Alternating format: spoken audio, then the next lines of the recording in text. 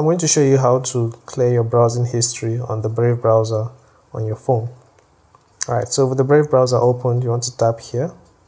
So there are two ways to go about this. You can either tap history or you go through settings. So I'll go through the settings page and then I'll tap Brave Shields and Privacy. Next I'll scroll to the bottom and here it says clear browsing history. I'll tap it I'm currently in the advanced tab, but I'm also just going for the basic so that um, you don't confuse yourself too much. So if you just want to clear what you've done in the last hour, then select last hour by tapping here and selecting last hour. So you tap it this way.